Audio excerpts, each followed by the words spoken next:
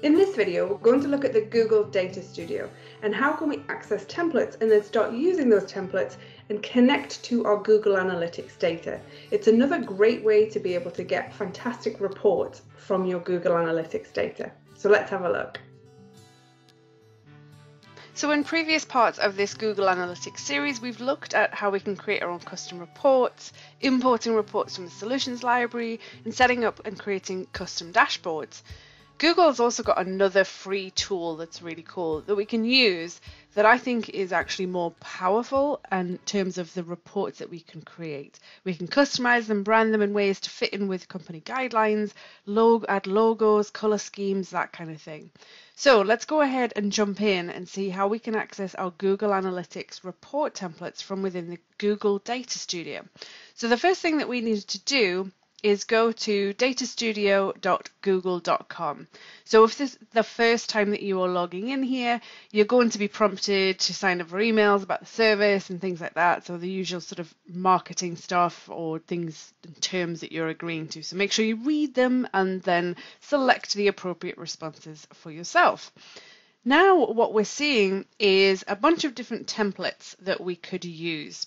Now, underneath each template, we can see the service or the data source that it's intended to be used with. So we can see there's one about um, the Search Console. So we've looked at the Search Console in a previous part of this series, uh, Google Ads, YouTube Analytics, and here we've got one for Google Analytics. I'm going to go ahead and click and select this one.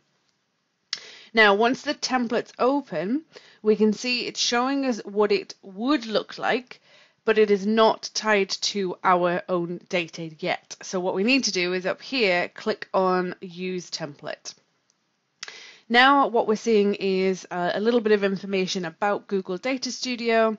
So just kind of, again, some of those sort of uh, marketing type things, welcome, we can connect, visualize and share and so on. I'm going to click on Get Started and I'm going to acknowledge I've read the terms and agreements and click Accept. And again, we're going to say, uh, we'll say no on these ones. All right, so let's go ahead and click done. Okay, so now it is prompting me and saying, okay, well, you're going to make a copy of this report, but you need to select the data source that's going to be added to it. So we can see there that this is the sample Google Analytics data. We don't want a sample, we want our actual analytics data. So I'm going to click new, create new data source. And here what we're looking at is a list of all of the different connectors that we can tie this to, so the different data sources that we can use. Now these are all of the Google connectors, but if we scroll down we can see there are partner connectors. There's a lot of stuff in there. So that's great and something certainly for you to look at in future um, if you are interested. But for this purpose, we are going to go straight to Google Analytics. That is what we want to link to. Now we need to authorize Data Studio to be able to connect to our Google Analytics account.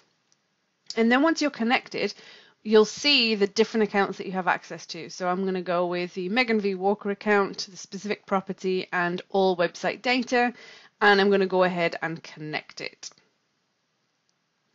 Then what we're seeing is all of the different fields, um, the type of fields, it's just basically an overview. You don't have to do anything with it. But what we're going to do is we're going to go ahead and add this to the report. And once it comes back here and we can see, okay, well, we selected the all website data data source, we're going to go ahead and click copy report. And now it's taken us to a copy of the sample of Google Analytics marketing website for that specific report. Now, before we do anything else, what I'm going to do is I'm going to go back to the sort of landing area, the home page.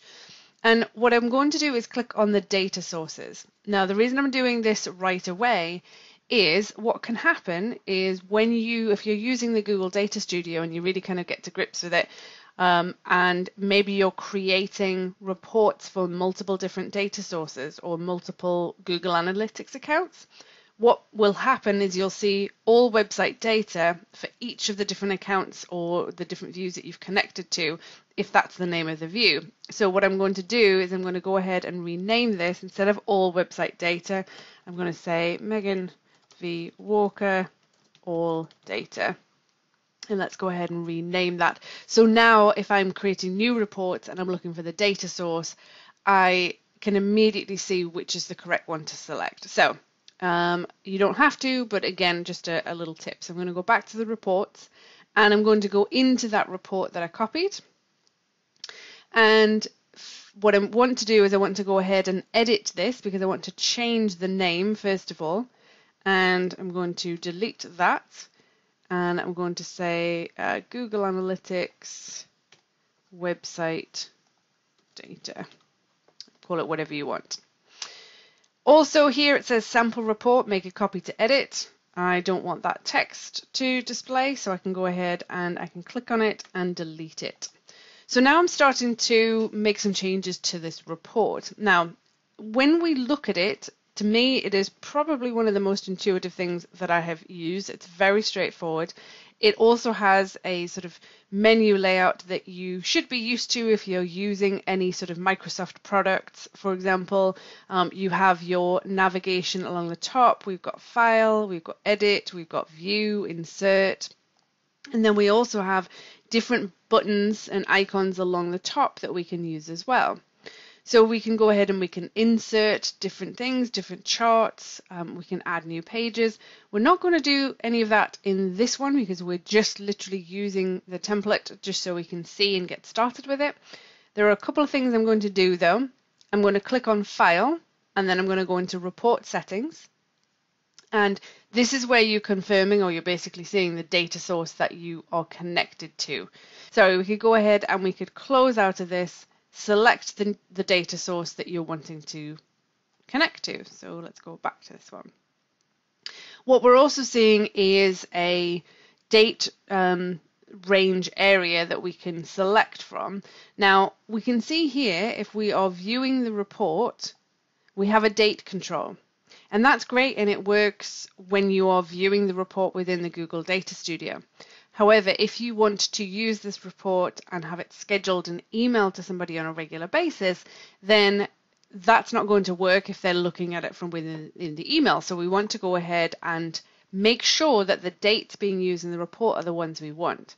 So I'm going to go back to my file report settings and in the default date range, we can see there it says custom and it's going to show the last 30 days excluding today.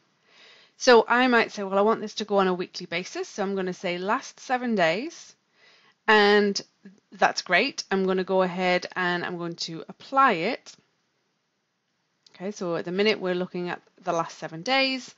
And then what I can do is I can share and I can schedule the email delivery of this report. So I said I wanted it to be the last seven days, but I basically want to be looking at the last week. So I'm going to, going to schedule this to go on a Monday at 7 a.m. weekly on a Monday. And I can customize the email subject and the message if I want to. And then I go ahead and schedule it. And I can put in additional recipients. So I want this to go to multiple people and click schedule to save that. So now, now that will be emailed every Monday at 7 a.m. and it will always show the previous seven days worth of data. So that's a way we can kind of use a, a scheduled recurring report.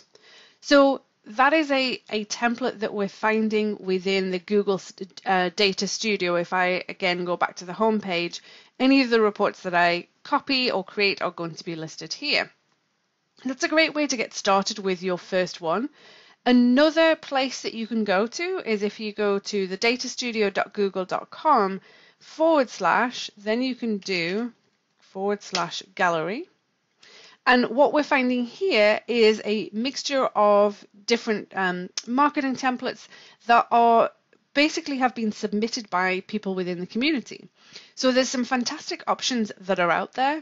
Um, we can see a sort of a, an, overview or a snapshot of what it's going to show us on here.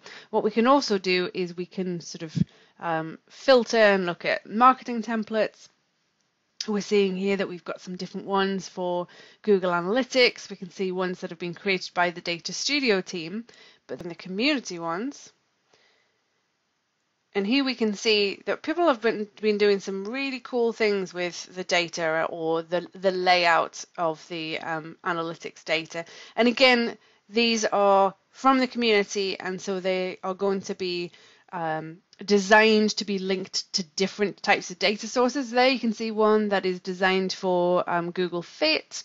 Um, so we've got things for Google Analytics. Um, so there's a lot of really, really cool information in here, and it's just a matter of kind of looking through and saying, okay, well, which one might be the best fit? What is it that I that I want to display, or just what looks cool and you kind of want to have a have a look at it and dig into further. So again, with that one, for some reason, I don't seem to be able to find a link directly to the gallery from um, Data Studio. So datastudio.com, sorry, datastudio.google.com forward slash gallery will get you here. Um, otherwise, if you are in Google Data Studio, I haven't found a, a link to get to it directly, um, but this is where you'll be able to start from a template that has been uh, designed by somebody that works at Google that works on the Data Studio product and has put in here. So go ahead, have a play, try out, go ahead and add in that specific template and have a look at your data. Hi, I'm Megan Walker. Thanks for watching. I hope you enjoyed the video and that you learned something from it. If you don't want to miss out on any other content, you can go ahead and click on my face below to subscribe. And if you want to watch the next video, you can do that by clicking over here and go ahead and get started. Thanks again.